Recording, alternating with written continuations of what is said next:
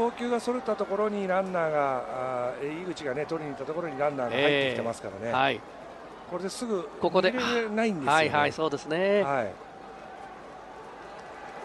で井口と岡島が交錯しました。で右の肩痛めてるんでね。そうですね。右から落ちるのは嫌なんですよ。